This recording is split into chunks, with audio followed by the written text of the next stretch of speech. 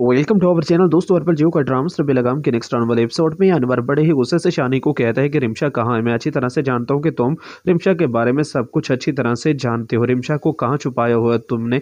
ये बात सुनकर शानी कहता है कि बाबा, मेरी बात पर यकीन करें, मैं तुम्हें अच्छी तरह से जानता हूँ। शानी, तुमने ही ये सब कुछ किया। जब रिमशा को तुम डिवोर्स दे चुके हो, अब तुम्हारा उससे किसी किस्म का कोई तलक नहीं। उसे उसके हाल पर छोड़ दो। खुदा के लिए रहम खाओ आप उस लड़की पर।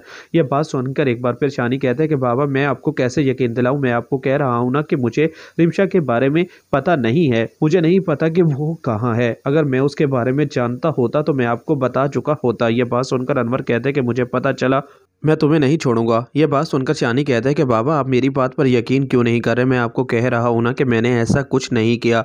रिमशा अपनी किसी आशिक के साथ चली गई होगी। आप अच्छी तरह से तो उसे जानते हैं। मुझे तो लगा था कि अफनान और दानिश कमाल से ही उसका तल्लक है। अब कोई और उसका आशिक निकल आया होगा। यह बात सुनकर अनवर कहता है कि, तुम्हें अब कोई हक नहीं कि रिमशा के किरदार पर उंगली उठाओ। शानी कहता है कि यहाँ मेरे साथ जो कुछ आप लोग कर रहे हैं, मैं आपको कह रहा हूँ ना कि मेरा, उससे अब किसी किस्म का कोई तलक नहीं। दूसरी तरफ़ अब आप ये भी देखने जा रहे हैं कि अली से अपनी माँ को कहती है कि आप परेशान क्यों हो रही हैं? रिमशा कभी भी नहीं मिल पाएगी।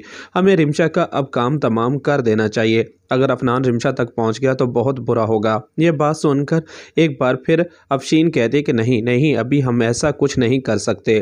तुम अच्छी तरह से अपने मामू जान को जानती हो।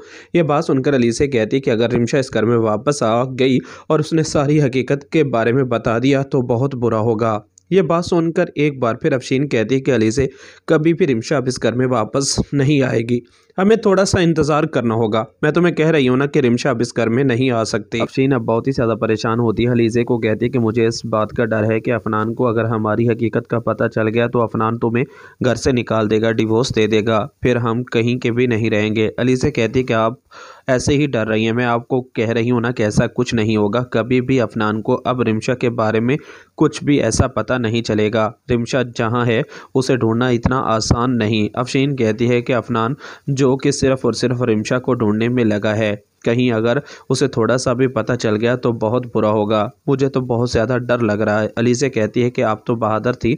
आपने तो मुझे कहा था कि मुझे नहीं डरना चाहिए। आप तो खुद डर रही हैं। दूसरी तरफ़ अब आप ये भी देखने जा रहे हैं कि आखिरकार अफनान रिमशा के तक पहुँच ही जाता है। रिमशा जब अफनान को कुछ नहीं बताती, रिमशा, आखिर तुम्हारे साथ ऐसा क्या हुआ था? तुम ये घर छोड़कर क्यों गई? कहाँ थी? ये बात सुनकर रिमशा कहती है कि, अफनान, मैं तुम्हें कुछ भी नहीं बताना चाहती, तुम मुझे मेरे हाल पर छोड़ दो। आखिर ऐसी कौन सी मजबूरी थी?